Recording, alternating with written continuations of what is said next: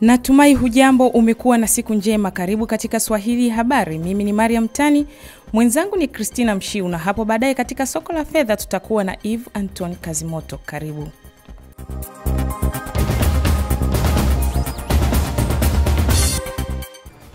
Mkuu wa mkoa wa Dar es Salaam Paul Makonda amempongeza balozi wa Japani nchini Tanzania kwa kuitikia wito wa ombi la ujenzi wa jengo katika hospitali ya Temeke ambalo leo limekamilika kwa asilimia kubwa. Mheshimiwa Makonda amesema hayo alipokuwa katika ziara ya ukaguzi wa jengo hilo wilayani Temeke. Anasema kukamilika kwa jengo hilo ni faraja kwa eneo hilo. Huduma zilizoko hapa, manake kila kitu kitafanyika pahala hapa. Ndoto yangu ni kwamba asiwepo mtu anaanza kuhojiwa jina wakati yuko kwenye hali mbaya, manake unahudumiwa kwanza, alafu mambo mengine ndio yanafata. Na daktari wetu umemsikia amesema mpaka kutakuwa na mini sehemu ya kufanyiwa upasuaji. Kama kunatakiwa kufanyiwa operation utafanyiwa katika ile eneo la emergency unit. Kwa hiyo ni maombi yangu wadau waendelee kutushika mkono kama ambavyo wamekuwa wema. Tunapomaliza jengo hili na kupata na vifaa, tutahamia uh, Kinondoni, tutahamia Ilala kuhakikisha sasa tunaipunguzia mzigo Muhimbili ya kukimbiza watu wa emergency na watakuwa wanahudumiwa katika hizi wilaya zetu kubwa tatu. Kwa upande wake mganga mfawidhi wa hospitali ya Temeke Daktari Amani Malima amempongeza mkuu wa mkoa Paul Makonda kwa juhudi zake za kuhakikisha jengo hilo linapatikana ambapo litasaidia kutoa huduma za dharura na kuipunguzia msongamano hospitali ya taifa ya Muhimbili. Kama mnavyojua hospitali zetu tatu tulikuwa hatuna emergency unit, kwa wagonjwa wengi tulikuwa tunawapeleka Muhimbili. Kwa kukamilika kwa jengo hili kutatusaidia kuwe na emergency medicine department ambayo itakuwa inatoa huduma kwa wale majeruhi wote wanaofika hapa hospitali ya rufaa ya mkoa wa Temeke. Yeah. Na kama mnavyojua kwa siku tuna save kati ya watu 1800 mpaka 2000 kwa siku, na kati ya hao tunakuwa karibu na watu 200 ambao ni wa emergency. Kwa wale wote watapata huduma zao hapa. Abdukarimu Msangi ambaye ni mkandarasi wa jengo hilo anasema wanatarajia kukamilisha ujenzi huo mwishoni mwa mwezi huu. Kwa sasa ujenzi umekamilika kwa asilimia 85, hivyo wako katika hatua za mwisho. Ni matarajio yetu kwamba kwa spidi tunayoenda nayo ambayo tulimwahidi mkuu, uh, ikifika mwezi wa kumi na moja na tunajitahidi sisi ndani katika mipango yetu ya ndani isifike mwezi wa kumi na moja yani at least ikifika tarehe 30 au 25 ya mwezi huu iwe tu ni kama vile vile kazi vidogo vidogo vya kutachitachi ambao tutakuwa tunasumbuana na wenye kazi kwamba kuna hiki bado, kuna kile bado, lakini mpaka sasa hivi zile main works tumeshamaliza. Katika hatua nyingine, Mheshimiwa Makonda ametembelea wagonjwa waliotambulika na matatizo ya macho katika zoezi la upimaji afya Mnazi Mmoja mwezi Agosti na kuwashukuru watoa huduma ambapo mpaka sasa tayari wagonjwa 20 wamekwisha fanyiwa upasuaji baada ya zoezi hilo kuanza hapo jana. Kwa leo nimefika hapa kama sehemu ya kuona huduma uh, ambayo inaendelea na tayari naona wananchi wangu wa mkoa wa Dar es Salaam wanaendelea kuhudumiwa, hususan tumeshaambiwa mpaka sasa hivi operations zimeshafanyika 20. Manake ni kila siku wanafanya operations za watu kumi. Jana wameanza, leo wamefanya, wataendelea hivyo kwa idadi ya wananchi wasiopungua 200 ambao walibainika wanahitaji kufanyiwa operation pale, kwa maelezo ambayo tuliokuwa nayo kwa takwimu za madaktari wetu. Ain Sharifu ni mratibu wa macho kutoka asasi ya Bilali Tanzania, anasema tumeitikia wito wa serikali na mkuu wetu wa mkoa wa kupima afya kwa wananchi wa mkoa wa Dar es Salaam. Kwa hivyo sisi tuliahidi kwamba wale ambao watapimwa macho na wale wenye matatizo sugu ya macho ambayo ni mtoto wa jicho ambao kama amemsikia mgonjwa wetu mmoja amekuwa anataabika au alikuwa hawezi kuona kwa miaka minne hivi sasa, na sisi tumechukua jukumu hilo na tumemwahidi mkuu wa mkoa kwamba tutafanya upasuaji wa macho 500 mtoto wa jicho au zaidi ya 500. Baadhi ya wagonjwa waliopata huduma hawakusita kuonyesha furaha zao, kwani wengi wao hawakuwa na matumaini ya kupata huduma kutokana na hali duni ya kipato. Baada ya kusikia msaada huu uliotokea kwa viongozi wetu, namshukuru Mwenyezi Mungu na sasa hivi naona nimepona. E, nashukuru sana sana. Tunamshukuru Mwenyezi Mungu na tunawashukuru viongozi wetu, mkuu wetu wa mkoa, ndugu yetu, kwa dhifa nzuri hii alokutufanyia wanyonge kama hivi, tuliokuwa hatuna misaada ya kuendea ngazi za juu kwenye hospitali.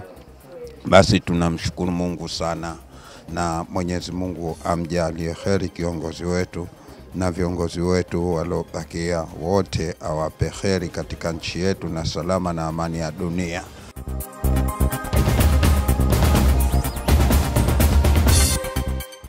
Marekani imeitaka Cuba kuondoa wafanyakazi 15 wa ubalozi wake mjini Washington kwa muda usiozidi siku saba kufuatia madai kuwa Cuba imekuwa ikifanya mfululizo wa mashambulizi ambayo yaliathiri afya za wanadiplomasia 22 wa Marekani nchini Cuba mnamo miezi ya hivi karibuni. Hata hivyo, hakujatolewa maelezo zaidi dhidi ya mashambulizi hayo yalikuwa ya aina gani. Aidha, waziri wa mambo ya nje wa Marekani Rex Tillerson amesema hatua hiyo ya Marekani imechukuliwa kutokana na kushindwa kwa Cuba kutilia maanani utaratibu wa kuwalinda wanadiplomasia wa nchi yake. Wakati huo huo, Marekani imetangaza kuwa inaondoa theluthi mbili ya wafanyakazi wa ubalozi wake mjini Havana na imetoa tahadhari kwa Marekani wanaotaka kusafiri kuelekea kisiwani Cuba.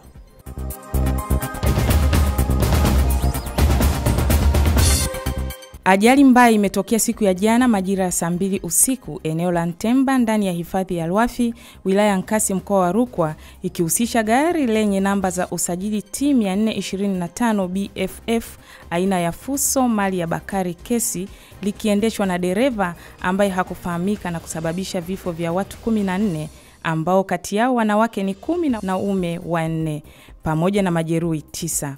Gari hilo lilikuwa likitokea kijiji cha Mvimwa kwenda kijiji cha Mwampembe na chanzo cha ajali kikitajwa kuwa ni mwendo kasi mbaya wa dereva. Akizungumza na waandishi wa habari jijini Dar es Salaam, kamanda wa kikosi cha usalama barabarani Fortunatus Msilimu amesema kuwa gari hiyo ilikuwa ya mzigo na ilikuwa imebeba vifurushi vya mahindi pamoja na abiria.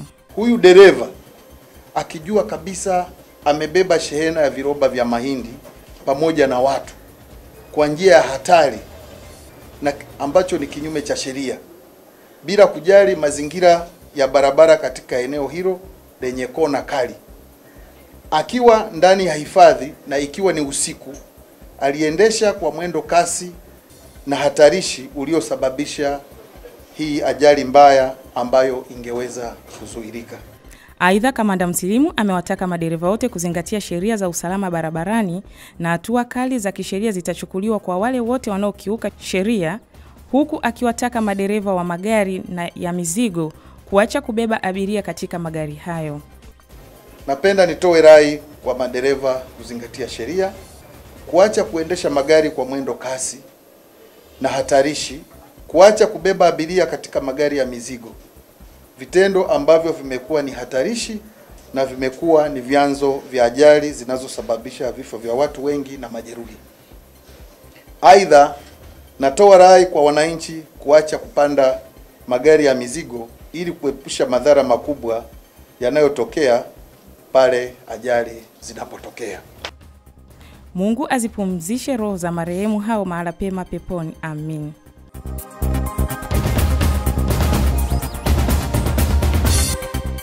Mwanaharakati wa haki za binadamu na mkosoaji mkubwa wa Rais Paul Kagame wa Rwanda amefunguliwa mashtaka ya uasi dhidi ya serikali baada ya kutangaza nia yake ya kugombea urais katika uchaguzi uliofanyika Agosti.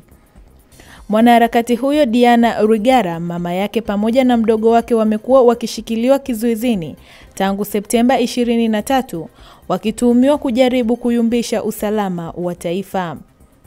Diana rwigira amezikana shutuma hizo, lakini ameweza kupewa kifungo kati ya miaka kumi hadi kumi na tano jela ikiwa atapatikana na hatia. Tarehe ya kusikilizwa tena kwa kesi yake bado haijatangazwa.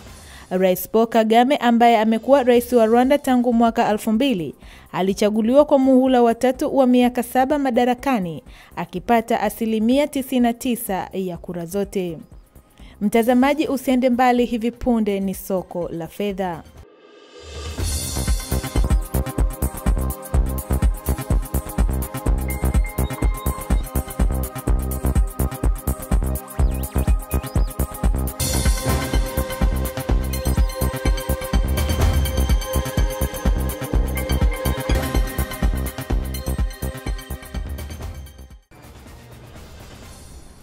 Viwango vya fedha vinaletwa kwenu kwa udhamini wa Delina Bureau de Change iliyopo jengo la Ubungo Plaza jijini Dar es Salaam.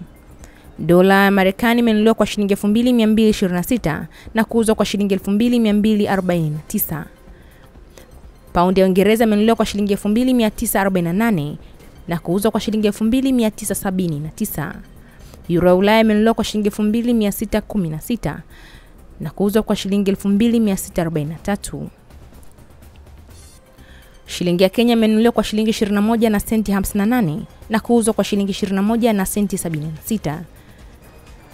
Shilingi ya Uganda imenunuliwa kwa senti 58 na kuuzwa kwa senti 62. Randi ya Afrika Kusini imenunuliwa kwa shilingi 162 na kuuzwa kwa shilingi 163. Faranga ya Rwanda imenunuliwa kwa shilingi 2 na senti 13 na kuuzwa kwa shilingi 2 na senti 14. Viwango hivi vya fedha ni kwa mujibu wa Benki Kuu ya Tanzania. Jina langu ni Eve Anthony Kazimoto. Eve Anthony Kazimoto anahitimisha Swahili habari kwa siku ya leo. Ulikuwa nami Mariam Tani, mwenzangu Christina Mshiu. Endelea kutazama vipindi vinavyofuata kutoka hapa Afrika Swahili TV, lugha yetu, sauti yetu.